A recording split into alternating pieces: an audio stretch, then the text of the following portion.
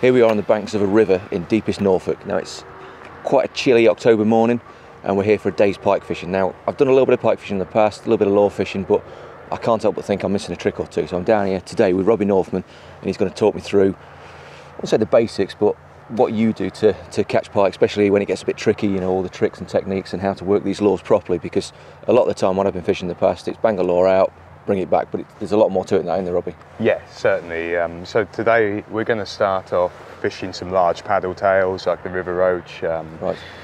We're going to go opposite, so we'll put you on the bright colour, me on the natural, and we'll grind through, maybe swap it up and change to a curl tail or even some fast shadding. So we'll, we'll really work the situation and try and try and pinch a few fish out this morning before maybe um, maybe even having a go at a little bit of perch fishing.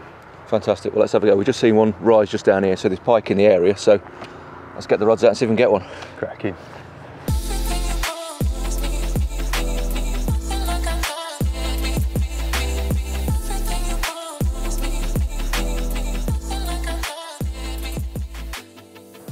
So this is the kit we're going to be using. So this is the 4D River Roach, isn't it? Yeah, that's the 4D River Roach, and um, we have that rigged up on one of the new punch heads, um, 15 grams for this deep water here. We have um, the corkscrew stinger kit on the bottom of that, and I've just counterbalanced the lure with a couple of lead spikes and a nice loud rattle in the tail. Okay, that's because it's quite murky, is it? Yeah, definitely. Any extra attraction we can we can get today might might well be the difference between um, converting a bite and, and a follow. Um, I'm going to fish similar, so with, with the watercolour, I'll put you on Bright Fire Tiger, and I'm going to fish something a little bit more natural. Right. And um, we'll, we'll grind away, and we'll see what works out of the two. Okay.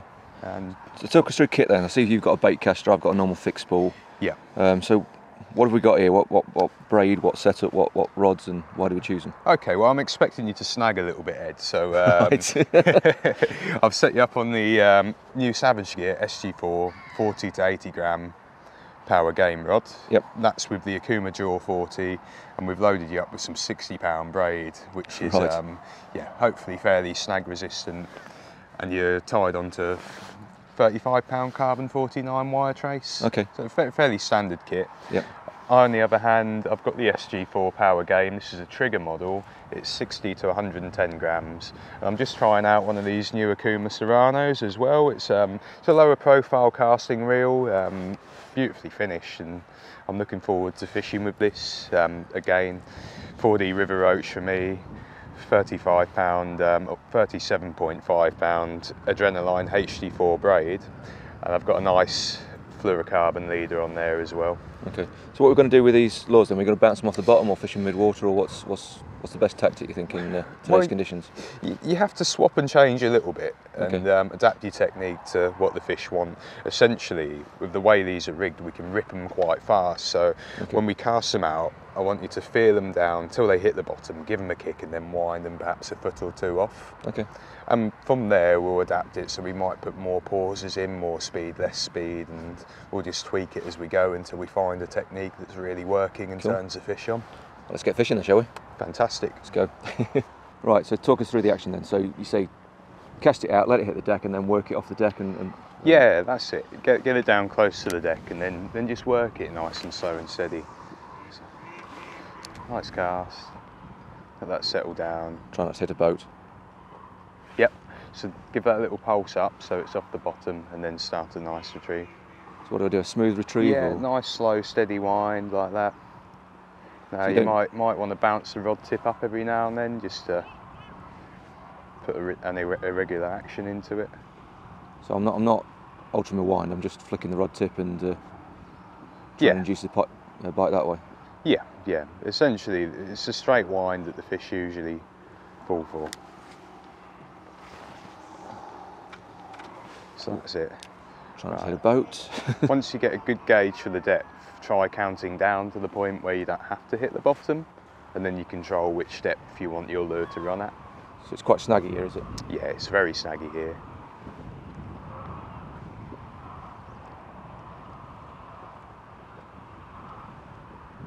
That's it. Maybe um, maybe a little less aggressive on the action as you come closer in, and just focus on that straight wind. Right. Now you want to fish your lure all the way to the bank because very often pike will follow the lure right in and take it at your feet. Okay. Thought that action was a bit weird. Yeah, Let's try again then. that's it. That's it. So what you do? Keep the rod tip Yeah, down or lift so? I'd start reeling now. I'd keep the rod tip angular to the lure. So that's about it. 45? Slightly higher up on the tip as well, so you've, you've got a little bit of bend in the rod if a fish should hit it. Right. Okay. Fantastic. As I say, if you feel it hit that bottom, just kick it off and, and lift the wind a little bit. Right. You can get smashes right underneath the rod tip, can you? Yep. Yep. So I'd say you're dragging the bottom maybe just a little bit much there. So try increasing the reel speed slightly and fishing in bursts. Okay. So let that drop down a little bit. Not sure if that drag bottom then or a little, little nudge. There we go. And what you can do to control the, tep- the um, depth of the lure is just lift or lower the tip slightly. If you think you've had a pluck, try speeding the lure up as well. Quite often um, you'll, you'll provoke a flight or fight instinct. Okay. I must admit, a lot of my pike fishing's been on mono, so uh, using braid is a little bit different. Yeah, it's far more direct.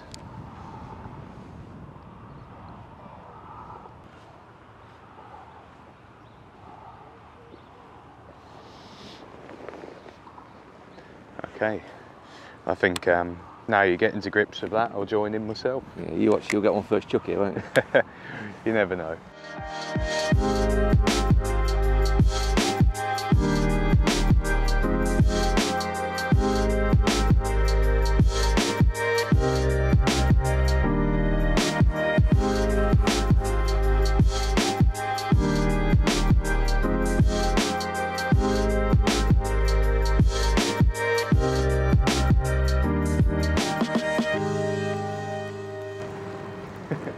Are you getting on, Ed? Blanking, mate. Thank At you, the minute. blanking hard. Okay, Yeah, well, um, we've had a good work with that though, so why don't we um, change tactics slightly? Okay. um, try something ever so slightly different. So I think um, what we will do now is we'll take off the paddle tail and we'll try a lure with a curly tail. So I've got my favourite shallow burbot in red here Cool. with the hooks rigged on top to hopefully um, keep out of those snags. And with this one, you should really be able to grind it deep along the bottom without having too much trouble. So wind it slowly, bounce it off the deck, and see if that makes a difference. Yeah, keep that steady wind with the odd spin stop. You're right. and um, try and keep it close and in contact with the bottom. Okay. So, so in situations like this, would you just sit it out on one spot and wait for a pike to come past, or are you fishing for lethargic pike, or what's, what's the general situation? I mean, at the minute we're fishing from the bank, so we're quite limited in where we can fish. So we'll work each spot for a period of say 30 minutes, run a couple Right, of okay. lure changes, and then maybe move to the next location. Okay. And um, there's five or six areas we can target around here, so we'll, we'll breeze our way through it slowly but surely, and hopefully um, pick up a few fish along the way. Sound. So, so a lot of the pike we're fishing for are just tracking up and down this river. Yeah, it's just a case of waiting for one to come past and put a Yeah. lure right in front of its face, or a lure that it wants right in front of its face. That's it. Some of them will be laying sort of dormant, um, either on the bottom or near structure like the boats or um, or the quay headings, whereas others will be moving and, and searching up and down the river. So Okay. um, making sure we cover all aspects of the swim is important. Okay. Um, So, so the pike that are moving, would they be moving near the deck, or would they be mid-water, or upper upper layers, or? When they're swimming, they tend to be um, pelagic, so they're in, in the layers. Um, generally, when they're, they're, they're within a foot or so of the bottom here, being quite shallow water. Okay.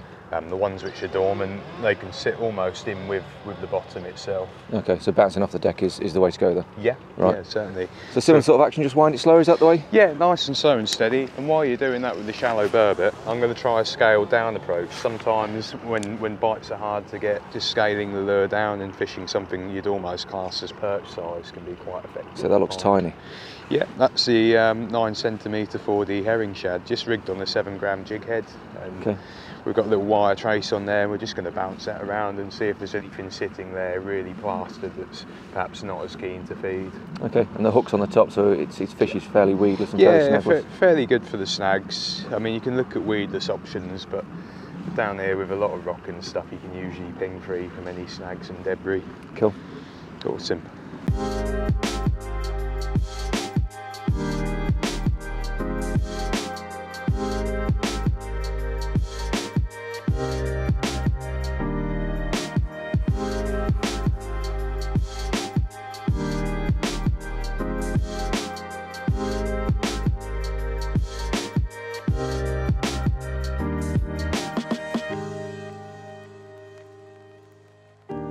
Right, Ed. I think we've given this spot long enough. It's about time to have a swim move. Yeah, I think you're right, mate. Yeah, I think uh, I don't think there's a great deal sort of sitting on the bottom here. Like you say, there could be a few drifting up and down, but uh, yeah, change of scenery could be the one. What yeah. do you reckon? Yeah, definitely. Let's um, let's get the gear together and move to the next spot. Sure.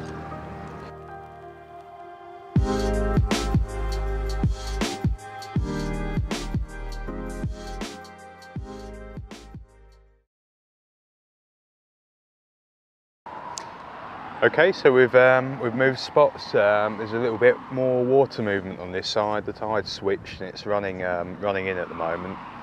We've got a nice bit of structure on the far bank in the form of some boat sheds, some moored boats, and then a lovely back eddy forming on the other side as well. So I think we'll um, target those aspects of the swim. Okay. So Um, do you see the pike sitting, sort of sitting in the crease where the uh, the back Yeah. eddy hits the main bit of flow? Yeah, I mean this really pumps through here. You can see the disturbance on the water from the current, and there should be fish held up in that back eddy, if, whether it be roach and bream with a few pike following. Okay. But we'll um, we'll work this area and see if we can pinch a few out. Okay. So stick to the shallow burbot and. Uh, Yeah, you stick with the burbot, and I'll stay on the river roach for the time being. Cool. Let's see what happens then. Awesome.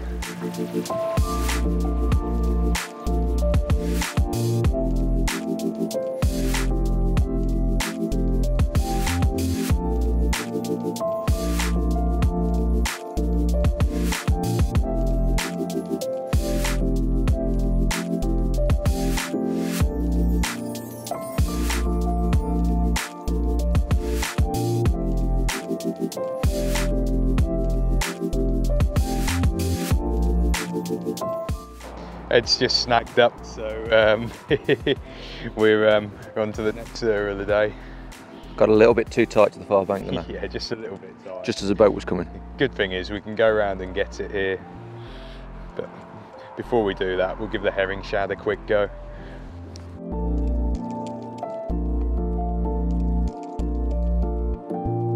Okay, so I've just changed over to a cannibal shad just to work the bottom a little bit more closely. Um, that's on a 15 gram jig head, nice and simple.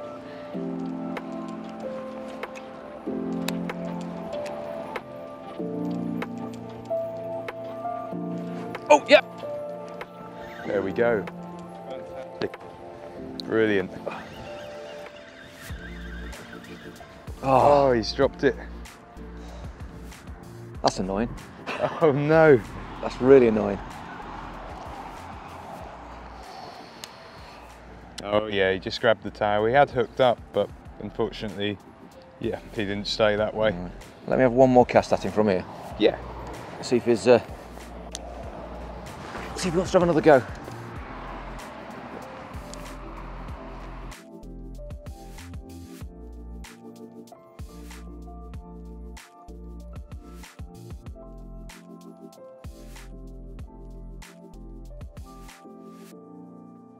I'm not entirely sure what fish that's supposed to look like, but let's give it a go. Well, there's lots of theories with it. Some people say it's a shoulder fry, others say it's Yeah. just um, aggravating them, but I um, I think it aggravates them. Yeah, probably. So I've, I've dropped down to a lighter rod here. I've got a 12 to 35 gram uh, medium game, six foot six. So Yeah. you reckon that's going to be better with a spinnerbait? Yeah, but that's um, that's a perfect setup for that. I mean, you could pick up pike or perch on that combo. Hopefully pike, um, but yeah, won't say no to a bonus perch Cool. if one turns up. Let's give it a go.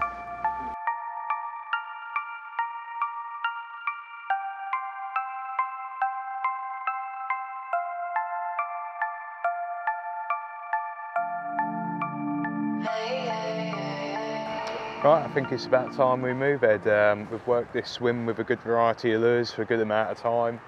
Lost one fish, unfortunately, but I'm sure there's many more to be had today. Um, let's try another area. Yeah, 100% mate. Looks like that fish probably was, was on its own after all, Yeah, or the others just aren't having it. But um, yeah, I think you're right. Let's uh, let's move and see if we can find somewhere else with a few more fish. yeah, I think back upstream.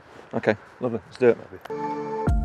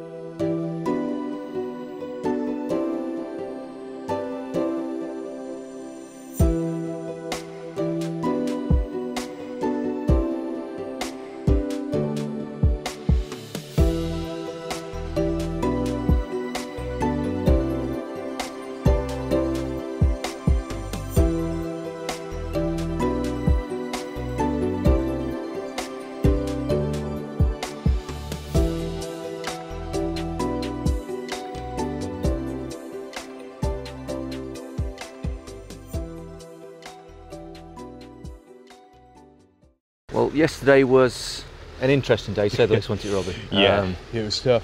Yeah, nothing, nothing really went to plan. We had that one pike that we managed to lose. Um, we tried really hard, even into dusk, um, but nothing really panned out. So we've come to the conclusion today that we need to move around a little bit more. So we're in the boat. We've had the echo sounder on, and we've been searching for fish, and we've we've decided to come up with a new river system that Robbie knows quite well. So Yeah. you know, this is yeah, this is a completely different river system. It's took us two and a half hours to get here on boat, and hopefully this will bring us a change of look. So, what do you think, Robbie? I think so, and um, I'm going to start you off with the new 4D River Roach in a perch pattern, Ed. Um, there's a lot of perch of that sort of size in this river, and hopefully plenty of pike looking to feed on them. And I, I'm Yep. going to go for my trusty burbot because these always seem to produce the goods for me, and if anything's going to pull me a pike, it'll be that. And I think you, you'll have that one because that's what the monster's going to come on, mate. Oh, is that right? Is that right? So we we sort of very much matching the hatch with this one, and then something that well they've never seen in natural life in that one. So Yeah. let's let's see what happens and let's see what we can get. We'll give it a blast. Hundred percent. It's a uh, nice steady retrieve, Ed. We're at a slightly different depth from this river system, so we've got about five, five and a half foot in the channel, maybe three, three and a half foot in the edges. A um, little bit of tree cover to fish for, so total opposites to the urban area that we fished yesterday. Yeah. So I'm guessing there's not as many snags and bits of debris on the deck down here that there is in the other place. Yeah, not so much man-made rubbish, but um, certainly there's a bit of standing timber kicking around and stuff for the fish to get into. So we'll um, we'll work it with these patterns and see if we can pick up a fish here. Maybe swap um, swap our lures over, and then we'll hit the next spot. But I think today we'll take quite a mobile approach and just jump from bay to bay, tree cover to tree cover until we start catching a few fish.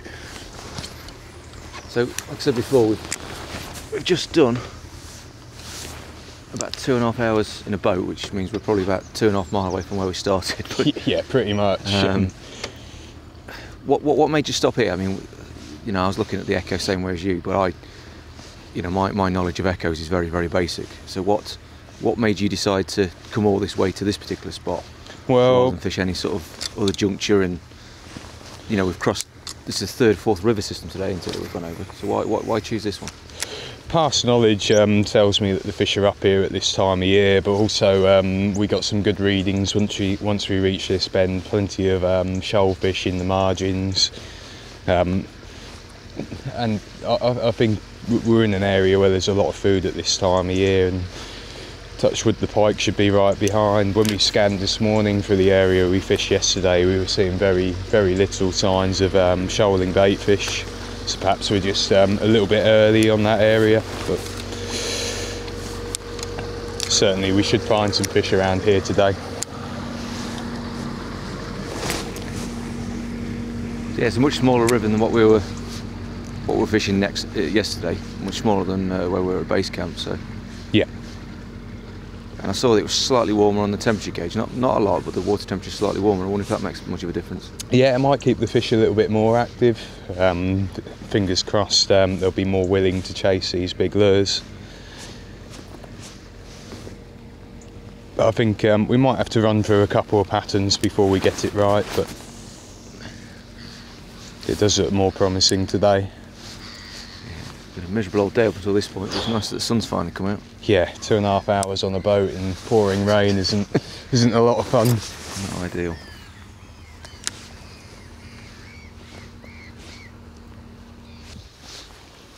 So do I really have to wallop it here to set the hooks up? Um, yeah, give it a reasonable hook set. I'm more used to bolt rigs, you see. I mean, sometimes they'll hit it so hard they do hook themselves, but giving it a strike will certainly help.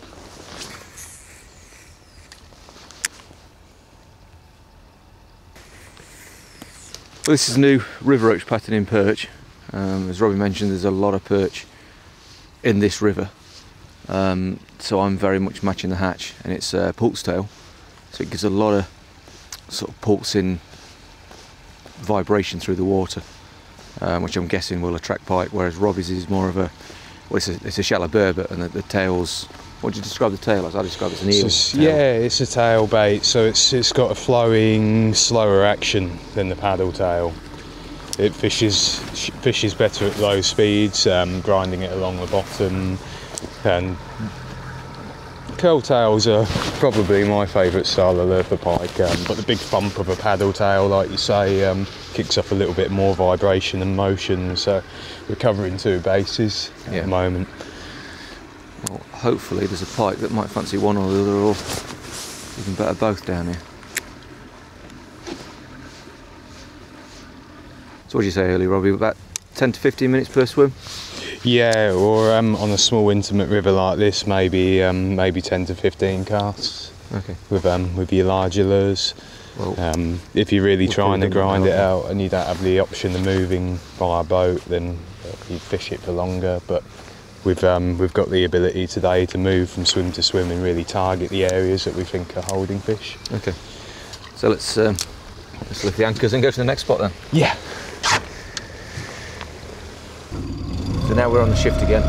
So we're just going to keep an eye on the sonar and watch for sort of the little peppering nature which indicates shoal fish. Yeah, yeah, that's um, that's the idea really is to keep an eye on that, but also um, if we see distinguishable features like um, nice bushes and trees, we'll fish into those as well. So, um, I mean, we, really are gonna search this 50 meters per 50 meters until we um, get onto some fish. Okay. It's possible to see individual fish on there if they're off the bottom. Yeah, yeah. If a pike is off the bottom, you can quite clearly see them on these um, on these little sonar units. I'm just going to cross over here, and we'll get ready to drop into this swim. Have you seen anything on the sonar that might indicate there's, there's something in here? Not particularly here, but it's got a lovely bit of feature and cover, Okay. so we'll definitely give it a fish.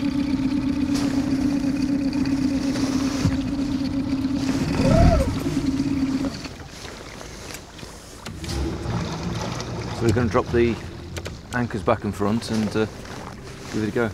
Yeah. It'd be nice to sit in the middle of the river really, but I suppose with the amount of boat traffic we can't really do that. Yeah, you'd um, you run the risk of being hit by a cruiser Yeah, and the big old unit. or hitting a tree. Right, well let's give this shot a go, uh, swim a go then. I think it's time to put my Polaroids on. I can't believe that after two and a half hours of travelling up here in the pouring rain, the sun's finally come out. It feels warm all of a sudden. Yeah, it's like a different world, isn't it?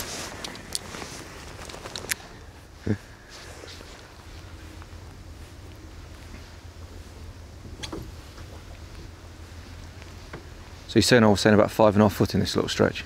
Yeah, yeah. I mean, directly below the transducer now, we have about four feet. Is that a hit? I don't know. I think so. Okay, that's a, that's a promising sign.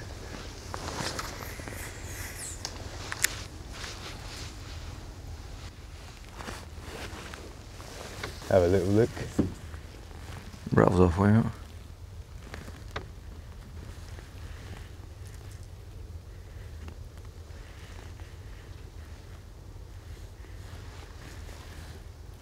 See anything definite in there, but it it felt more like a hit than just a stop. Okay, that's promising. Yeah. Let's bang one into the same place.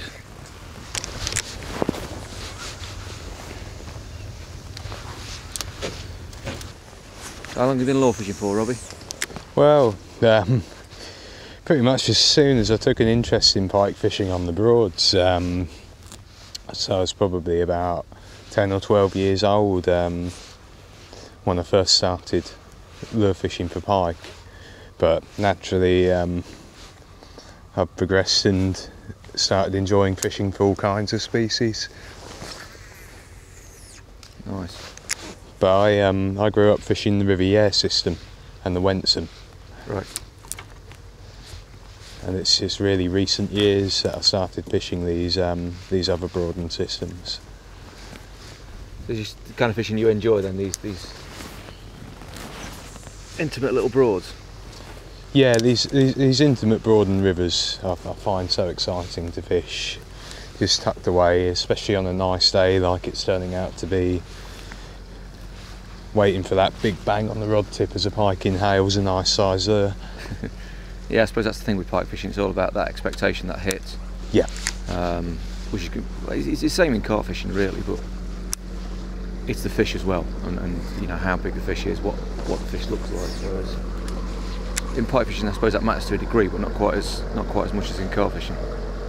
And certainly on the Norfolk Broads, your next fish could be five pound or thirty pound. It's um, you, you, you're never never quite sure what's going to turn up next. No, that's it. There's always that excitement and mystery here on this this big wild fishery. There's some proper lumps up and down these systems. And after this two and a half hour journey today, it's I can see how they can get lost and never see a hook or, or very rarely see a hook in all their time.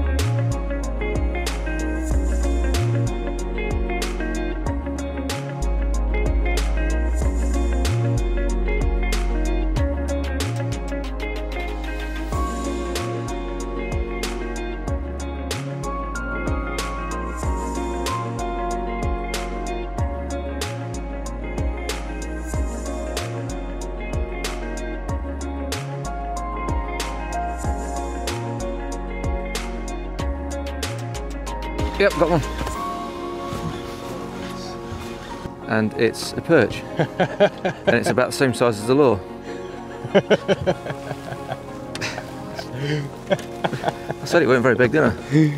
Oh boy. There we go. the fruits of our labour. Two and a half mile boat, uh, two and a half hour boat journey. God knows how many casts, hundreds of casts, and I get a five ounce, Yeah, a little bigger. six ounce perch. Are you happy with that? Ecstatic.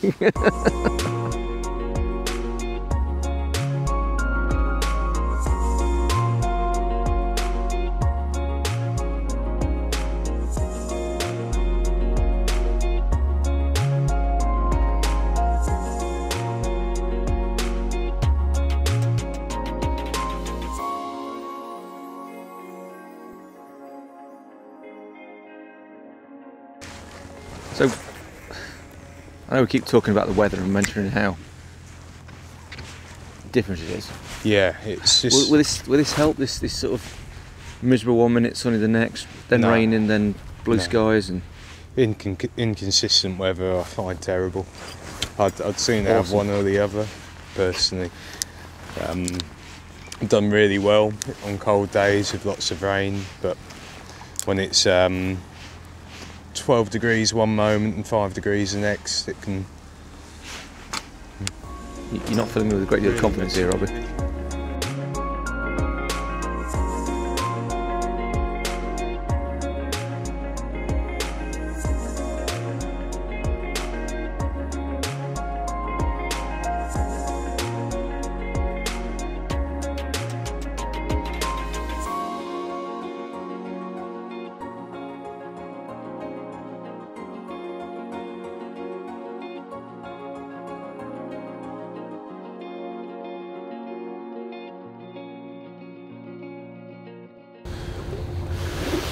Yeah, that could possibly be a pike. And again, there's something large sat off the bottom there. I think what we'll do is we'll pull up just along this side here. We'll have a little go. Lots of structure and timber in the edge there.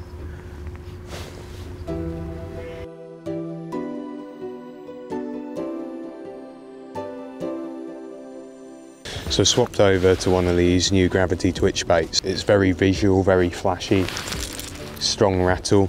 So it's um, it's certainly if there's something sat pelagic in here, it's to draw their attention.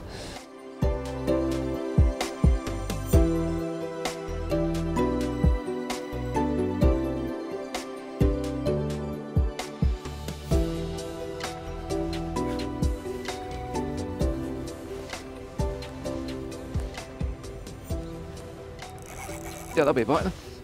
Oh, this has got a pike. This Yeah. is a pike. Back the drag off. Back the drag off. Just slightly. Cool. I thought I was getting some nods, nudges down there and little There we go. little attacks. I'll get that net ready. That's feeling like, low, a, so I think it's feeling like a better fish, isn't it? Oh yes.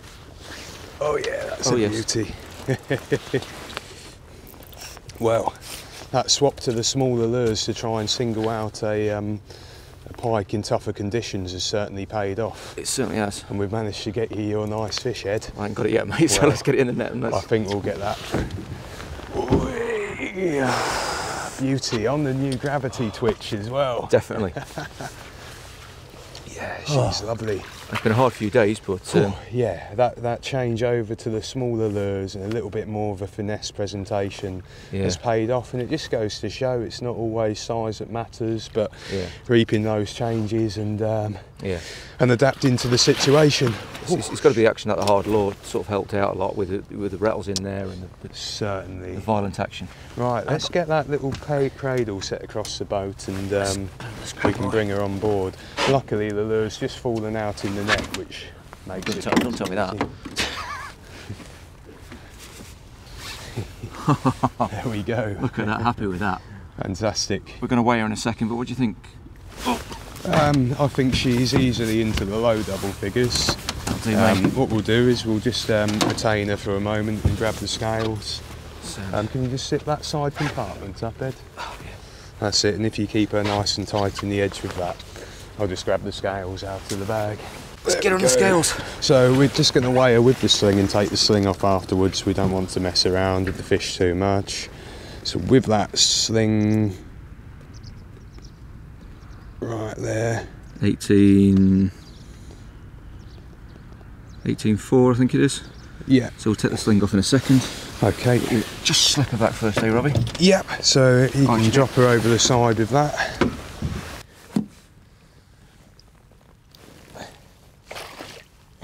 Come on. There we go, boy. The right way around.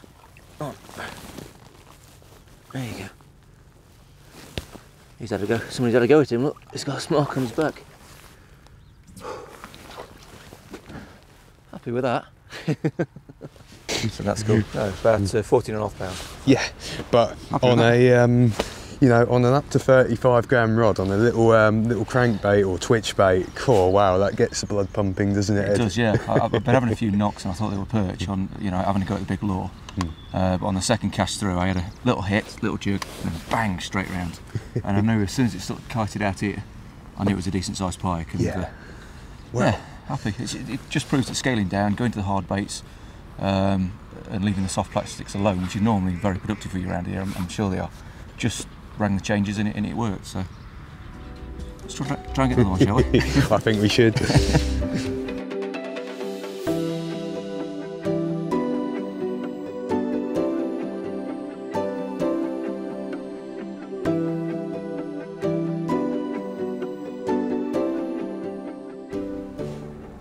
I wonder if it might be worth just switching to a, a sli- similar lure, just a little bit smaller. See. No, this will do. no, we'll stick with this lure. there you go, Ed. That's it. Is your drag set okay for that? Yeah, good point. Let's drop it a little bit. Here's me talking rubbish about changing lures when I'm getting bites. Set the net up, mate, please. Yeah. Now, what does that feel like? It feels okay. It doesn't feel as big as the last one. No. Um, I'm guessing it's a pike. Yeah, although it's head shaking a little bit like a perch. That's oh pike. yeah, that's definitely a pike.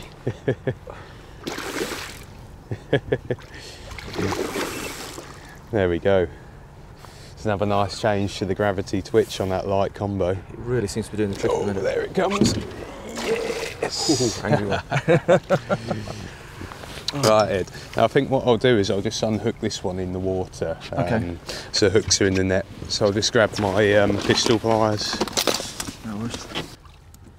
It's not as big as the last one. What do you reckon, Robbie? About eight pound? Um, possibly, maybe a little smaller, but it's certainly a pretty fish. Lovely yellow dots on it, and Got very impressive fins on that one. It's cracking fish. Very happy with that. There we go. Let's let her go straight away. Won't bother weighing it. We'll just. Yeah, he's very keen to move off. Oh. Right. crank Well, that to change to the um, gravity twitch certainly has paid off It for has. you. It has. I was getting a few. Again, I was getting a few knocks before that, and I was, I was just debating whether to change it to a slightly smaller one, thinking that it could be sort of large perch having a go, but it proves it was a pike. Must be coming in, smashing it, and smashing it, but not quite taking it, and then that last one just hit the hooks. But it does seem to be a, a group of pike down there. Whether it's because then, people across there are fishing for um, smaller fish and putting a lot of maggots in, so there's a there's a group of pike hanging in this area as the as the shoal fish are being drawn in. I don't know, but uh, yeah, there seems to be a couple down there.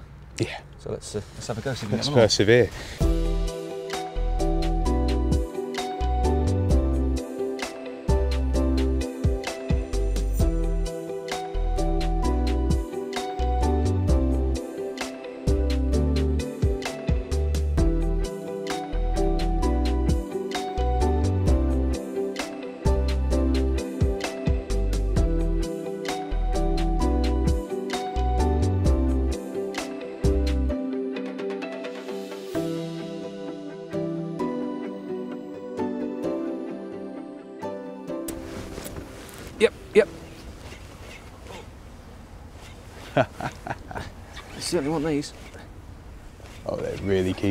That's a nice fish there, Ed. Yeah, it's a big one, isn't it? Feel every lunge on this braid. when I used to do a lot of swim, spinning back in the, God, man, showing the age now, 80s and 90s. It's always on mono. There you go, Ed.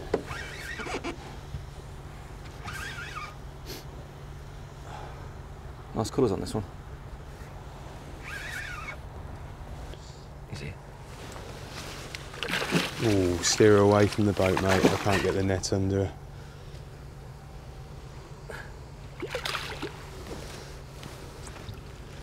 Right.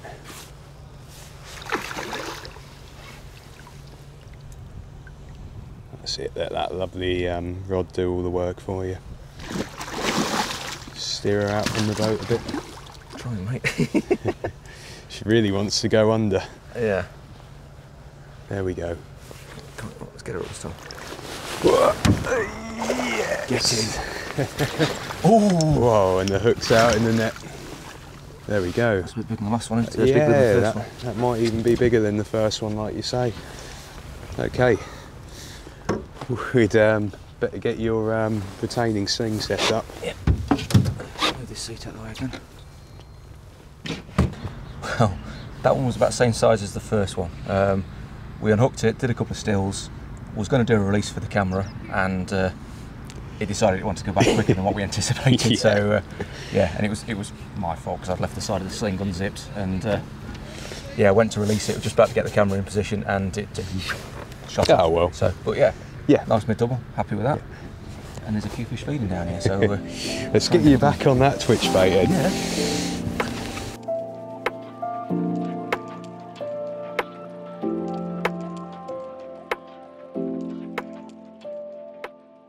There's a fish on here. I'm not sure what it is yet, Whereabouts is it?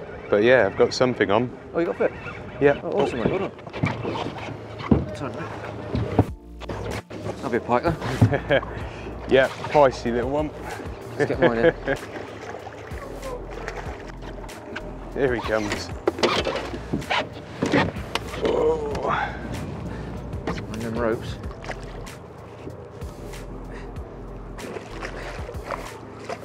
You ready, Ed? Yeah, got it, mate. There we go. Up he comes. Oh. Hold on, fella. Well, looks like you've had the big uns and I get the little one. Well, start somewhere. Well, I'm just glad um, glad it's worked out for you and you've managed to catch a few big uns today. Yeah, happy with that, mate. Happy with It's that. amazing. It just seems like we found a honey hole today with a lot of fish generally concentrated in one I area. think we found the right place and the right lure for them. Certainly. Right, I'll have a go on hooking this guy in the net.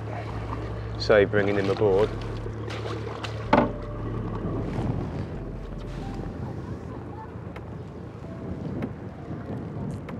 Ah, yeah, there we go. Lovely, nice and tight in the scissors there. And row of teeth. You don't want the down Lovely. And there we go. Beautiful, beautiful little on that pike. side. He's Yeah, he's certainly been through the point. wars. He's um, he's found a bigger friend. Look how pink the fins are on these fish. Absolutely stunning. cracking fish. Well done, mate. Cheers, buddy. Let's see if we can catch some more. Well, it's certainly been an interesting few days fishing. The weather has been very, very tricky. We've had a lot of rain over the last couple of weeks and it's been raining on and off most of the time we've been here. Every now and then the sun comes out and then that will disappear and a big old rain cloud will come across and, and uh, give us its, its, its worst. Um, and that's not helped the water temperature, has it, has it Robbie? No, um, we've had like um, in the last fortnight we've had an eight degree plummet, which has re- really put the fishing on its head a bit. We've um, we've tried over three river systems, haven't we? We have, yeah. Uh, we've had um, we've had fish hooked. Unfortunately, lost them. A few bumps and very very lethargic follows. But ultimately, it was coming back in here to our chalet, which um, which produced a few fish.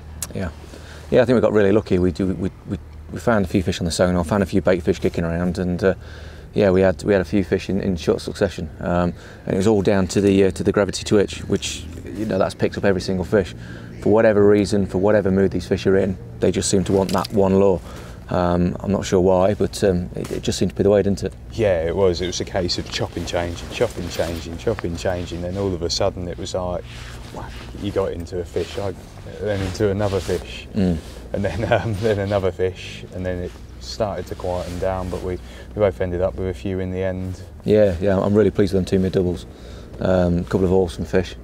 Um, and uh, we had a smaller one as well, and, and, and you know you chipped in, and but you know if it weren't for your guidance, I would have caught sod holes to be honest.